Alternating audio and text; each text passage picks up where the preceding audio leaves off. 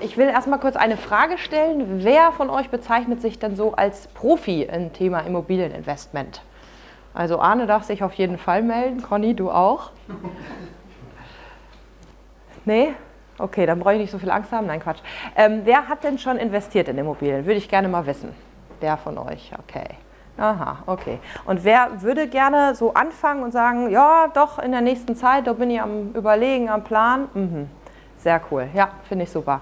Ich will euch ein bisschen erzählen, es gibt ja so verschiedene Möglichkeiten, was man tun kann mit Immobilien. Mit und ohne Eigenkapital ist die Überschrift von dieser Veranstaltung. Aber es gibt noch ein paar andere Möglichkeiten. Und dann, äh, wieso eigentlich Karibik und so ein verrücktes Zeug. Und ich habe gehört, es ist wohl auch äh, äh, Steuerkompetenz hier irgendwie im Saal. Wer ist hier so steuerlich sehr versiert? Wird die anderen schon mal wissen, an, man, an wen man sich wenden darf? Ach, das ist ja wunderbar. Klasse. Also wenn die Spezial... Ach, super. Ja, klasse. Das, ich finde das immer sehr gut. Also, ähm, die Frage ist, welcher Typ bist du? Ähm, welcher Investmenttyp bist du? Der eine sagt, ich stehe auf Sicherheit. Da hat Julian eben schon drüber gesprochen. Wenn man äh, sicher in der nächsten Zeit nicht keine Rücklagen bilden möchte, dann kann man zum Beispiel in Neubau investieren. Da weiß man, Neubau, das hat so und so viel Garantie, da passiert erstmal nichts mit, man hat keine Dachsanierung und und und. Ähm, oder auch sichere Orte, also zum Beispiel Hamburg, München, das ist Sicherheit. Da hat man aber manchmal nicht die höchste Rendite. Und dann gibt es Menschen, die sagen, ah, Rendite, das ist Hauptsache, da kommt viel bei rum, dann geht man vielleicht auch mal in ein bisschen unsicherere Gegenden oder aufs Dorf oder wo auch immer hin. Und ähm, das ist so eine Unterscheidung, wo ich sage, man muss ein bisschen gucken, was man selbst für ein Typ ist. Und ähm, dann gibt es auch die Möglichkeit, kleine Schritte zu machen. Also man fängt an mit vielleicht mal einer kleinen Wohnung oder man geht gleich große Schritte. Wollte ich euch mal fragen, wie viele von euch kennen denn das Cashflow-Spiel von äh, Robert Kiyosaki, ja, super, klasse.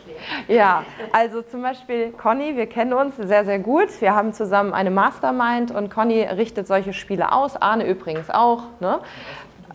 Naja, ihr organisiert die und so weiter. Da lernt man einfach, wie man investieren kann, ohne dass man selbst Geld einsetzt. Da lernt man spielen mit spielerischem Umgang mit Geld und ist eine sehr gute Empfehlung. Ähm, Robert Kiyosaki, Rich Dad Poor Dad, hat darüber ein Buch geschrieben und halt ein Spiel entwickelt. Und da geht es halt dann auch die Möglichkeit, große Schritte zu tun. Das heißt zum Beispiel gleich Apartmenthäuser zu kaufen oder äh, gleich in große Geschäfte einzusteigen, während man mit kleinen Schritten natürlich auch erstmal anfangen kann. Jeder ist da unterschiedlich und auch die Frage, wie viel Zeit hat man eigentlich, die man, äh, ja, die einem noch bleibt, um vielleicht größere Dinge zu realisieren.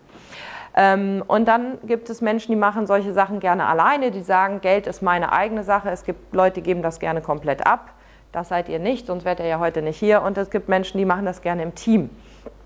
Ähm, und die Frage ist, äh, jetzt spreche ich ja hier für Unternehmern, wie viel Verantwortung will man auch übernehmen? Also es gibt ja Immobilien, die sind komplett gemanagt, da gibt man einmal Geld rein und alles wird gemacht.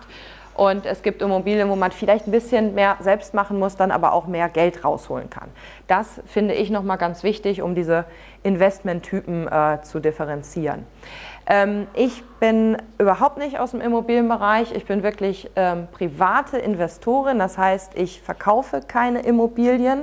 Die Firma JP Immobilien, das macht ja mein Freund.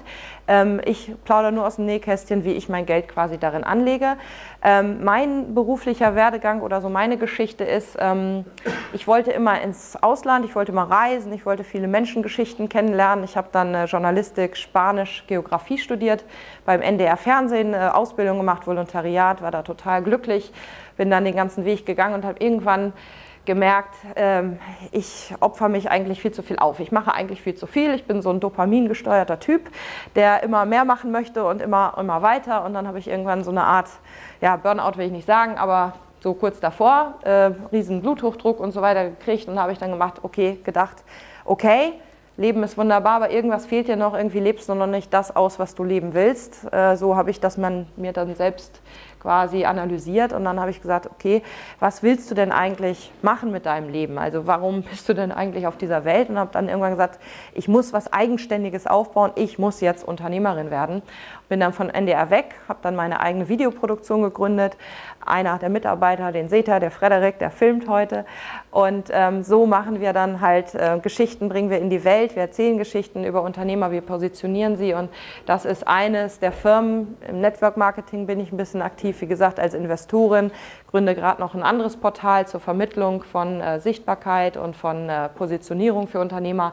Und so bin ich irgendwie viel glücklicher. Und da passt jetzt das Thema zu mit den Immobilien, weil es geht im Leben ja nicht immer nur hoch. Man hat ja auch mal Zeiten, da geht es runter. Jeder, jedes gute Unternehmen hat in seiner Geschichte irgendwie diese, diese typische Geschichte, es ging auch mal schlecht.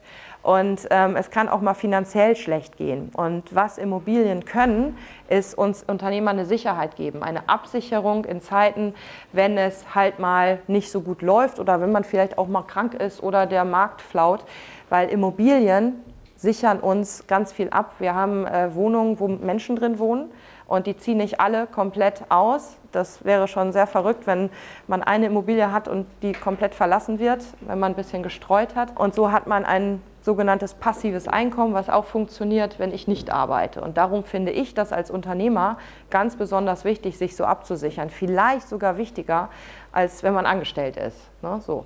Ähm, das finde ich halt ganz wichtig. Ähm, mittlerweile habe ich 26 Wohneinheiten, das heißt, ähm, ich habe wirklich angefangen mit Wohnungen, habe die dann verkauft, steuerfrei, habe das Geld wieder reinvestiert, bin erst kleine Schritte gegangen, habe erst mit eigenem Geld, also mit Eigenkapital investiert und habe dann irgendwann durch das Cashflow-Spielen auch unter anderem gelernt, man kann ja viel mehr hebeln, wenn man auch noch ein bisschen Kredit aufnimmt und nicht alles in eine Immobilie reinpackt. Und dann habe ich unter anderem äh, ein Haus gekauft äh, und dann ging das Ganze voran. Und jetzt habe ich vier Häuser und äh, noch ein paar Wohnungen und überall schön gestreut, in Leipzig, in Hannover, in Hamburg und dann bald hoffentlich auch in der Dominikanischen Republik. Ja, geholfen hat mir immer das Thema, sich mit anderen auszutauschen. Also sowas, was wir jetzt hier machen, das finde ich extrem wichtig, Masterminds zu gründen. Ähm, nicht zu sagen, ich weiß jetzt alles, sondern zu sagen, okay, ich habe eine Kompetenz, du hast eine Kompetenz, lass uns austauschen. Äh, Netzwerk und Unternehmer denken, Unternehmer einfach machen und auch Fehler machen. Auch mal äh, keine Angst davor haben, vielleicht eine Immobilie zu erwerben, die nicht sofort super funktioniert, sondern die dann vielleicht ja zu verbessern oder auch zu verkaufen und zu merken, okay, man muss auch lernen, das ist auch ein Lernweg. Ne? Ähm, genau, der Weg von festangestellt über Selbstständigkeit hin zu Unternehmer und Investorin, das ist so meine Sache, mein Weg gewesen. So, und jetzt möchte ich gerne, wir sind ja auch hier, um uns ein bisschen kennenzulernen und zu verknüpfen. Ähm, ich habe ja davon gesprochen, wenn man Team im Team zusammen was macht, ja. Und äh, einer meiner Teampartner ist der Arne. Wir haben ein Haus zusammen gekauft, also wir sind wirklich Investmentpartner zusammen. Und ähm, wir haben uns bisher sehr, sehr gut ergänzt. Das wird ja hoffentlich in der Zukunft auch so bleiben. Und warum funktioniert das gut? Weil man immer ähm, oder häufig einfach mal die Gegenseite sucht. Und da wollte ich euch mal fragen, ähm, dass ihr mal einfach Hände hebt. Wer von euch sagt denn, ich bin ein Mensch, der auf Sicherheit steht? Der möchte gerne Sicherheit, okay? Das sind ja nicht so viele. Ja, ich hätte ja, gut, hier sind ja Unternehmer, ne? Klar. Und ähm, diese Sicherheitsmenschen, die können sich sehr, sehr gut vielleicht verknüpfen mit jemandem, der auf Rendite steht, weil man dann einfach auch ein gutes Team hat. Äh, das heißt, die anderen sind alle sehr renditeorientiert. Ja, ja, hier, die Augen leuchten. Ja, yeah, klasse. Ähm, so, und was, was gut ist, wenn der eine Bonität hat, das heißt, der hat zum Beispiel ähm, schon sein Unternehmen sehr lange oder hat eine feste Anstellung, ist vielleicht äh, ein Arzt äh, oder ein Anwalt oder irgendwer mit sehr guter und hoher Bonität und der andere Mensch hat vielleicht Eigenkapital, weil der gut gewirtschaftet hat, wenn er bisschen an die Seite gestellt hat. Da können wir doch mal eine Geld- äh, oder eine Probe machen, wer hier über Geld sprechen will. Wer meint denn von sich, er hat ganz gut Geld auf dem Konto? Das ist jetzt auch für mich sehr interessant. So, sehr schön, sehr schön, gut, könnt ihr nachher kommen. Und wer meint, er hat eine gute Bonität, weil feste Anstellung. Mhm. Ja, solche Teams sind übrigens klasse. Ähm, dann ist immer das Ziel, was man mit Immobilien machen kann, ist Kapital aufbauen. Das habe ich zum Beispiel bei meiner ersten Immobilie gemacht. Ich habe wirklich da drin selbst gewohnt, hatte eigentlich vor, die nach einem Jahr wieder zu verkaufen. Ich habe in Eimsbüttel eine Immobilie gekauft, schon vor zehn Jahren, weil ich so ein bisschen gedacht habe, hm, das könnte was werden mit den Immobilien, das ist spannend. Da haben übrigens alle Leute gesagt, das ist ein bisschen bekloppt und macht das ja. Nee, ist viel zu teuer vor zehn Jahren. Ich habe es dann trotzdem gemacht, weil ich manchmal so ein bisschen eigenen Kopf habe und ähm, habe dann damit durch den Verkauf Übrigens habe ich das nicht hingekriegt, nach einem Jahr zu verkaufen, weil in einem Spüttel, da wohnt man super. Zum NDR, das war total nah. Ich habe es nicht geschafft. Ja, ich habe dann da insgesamt sieben Jahre drin gewohnt. Und dann hatte ich natürlich ganz gut auch Kapital gewonnen. Das habe ich dann wieder eingesetzt. Das heißt, ich habe mit meiner Immobilie Kapital aufgebaut. So, und dann gibt es natürlich die Möglichkeit, Kapital zu sichern weil man das Geld da reinpackt und das damit hebeln kann und nochmal, wie wir eben gehört haben, auch mit Fremdkapital von der Bank das zum Beispiel hebeln kann. Und auch da kann man sich ganz gut äh, ergänzen. Und vielleicht machen wir jetzt nochmal eine Probe. Wer hat denn Erfahrung und Wissen im Immobilienbereich? Ja, okay. Und diese Menschen sind auch wieder für die anderen interessant, die was anderes bieten. Also man kann im Gegenzug Geld bieten, Bonität bieten und so kann man miteinander co-investieren. Ja, Genau, man muss natürlich den Willen haben, auch gemeinsam was auf die Beine zu stellen. Und ganz wichtig ist es dabei, sich natürlich richtig gut zusammenzusetzen und darüber zu sprechen, wie man das zusammen machen möchte. Genau, dann äh, gibt es jetzt das Thema, wieso denn Karibik? Das ist schon das Video, genau. Das ist das Grundstück, was ihr da seht. Und zwar nicht weit vom Strand entfernt. Sechs Minuten, wenn man ganz gut zu Fuß ist. Ein bisschen länger braucht, dann dauert es halt so sieben, acht Minuten.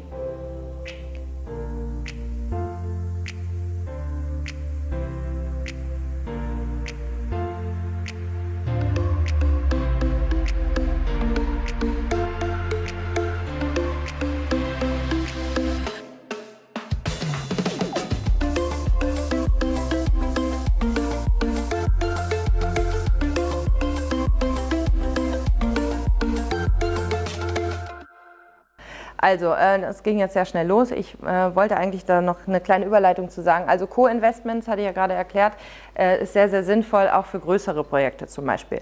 Dieses Projekt Wave 23 ist angelegt als größeres Projekt. Wir werden dort in der Karibik 19 Wohnungen bauen, das, was ihr gerade gesehen habt. Und äh, wie kommt man auf so eine verrückte Idee und äh, was haben wir damit überhaupt vor? Ich habe ja schon eben gesagt, manchmal muss man als Unternehmer ja auch Sachen sehen, die vielleicht andere noch nicht sehen, ein bisschen weiter nach vorne schauen. Und wir ähm, haben ganz normal immer Urlaub gemacht in der Karibik und waren da am Strand in schönen Anlagen und haben dann da Zeit gehabt nachzudenken und haben gesagt, ähm, wenn wir doch jetzt so ein bisschen Geld irgendwann mal haben, was wollen wir damit tun? Also was ist unser Warum im Leben? Wir wollen Spaß haben, wir wollen äh, ja auch ein bisschen luxuriös leben, wir möchten gerne auch das Geld für vernünftige Zwecke ausgeben und ähm, haben dann überlegt, ja, lass uns doch mal schauen, ob man hier irgendwie eine Villa erwerben kann. So, und die Preise gingen. Also das war jetzt gar nicht sowas von unerschwinglich, ähm, anders als in anderen Orten, ja. Und dann haben wir aber überlegt, okay, und was wäre, ich meine, wir kommen oder wir haben ja das Know-how von Immobilien, was wäre denn, wenn wir sowas selber bauen und dann nicht nur eine Villa für uns, sondern eine Möglichkeit, dort ein Apartmenthaus hinzustellen, was wirklich schick ist, mit einem Rooftop-Pool, mit toll eingerichteten Wohnungen und das nicht nur für uns, sondern für mehrere.